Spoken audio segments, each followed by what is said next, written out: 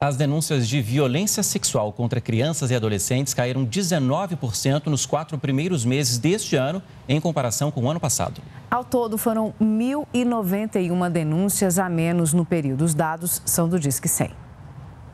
Segundo o Ministério da Mulher, da Família e dos Direitos Humanos, foram observadas algumas falhas no serviço, como demora no atendimento. Apenas 60% das ligações eram atendidas e desse número, 11% tinham retorno dos órgãos competentes, como conselhos tutelares, delegacias e Ministério Público.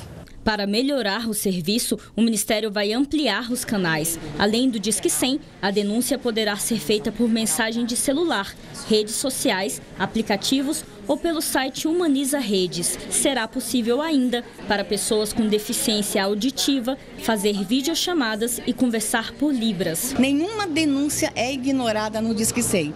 Todas as denúncias elas recebem encaminhamento e depois tem um acompanhamento do Ministério. É um instrumento forte que precisa ser melhorado, fortalecido. Estamos trabalhando nessa direção, mas é um instrumento que o Brasil pode confiar. A militar Isis não se descuida. Para evitar que os filhos estejam expostos a qualquer tipo de violência, ela acompanha o dia a dia dos garotos e fica atenta, especialmente ao acesso deles à internet. A gente monitora diariamente o que, que eles estão vendo, quais os youtubers que eles estão acompanhando, a escola também dá um feedback com relação a tudo que eles estão dando uma olhada, tanto na parte de, de, estudo mesmo.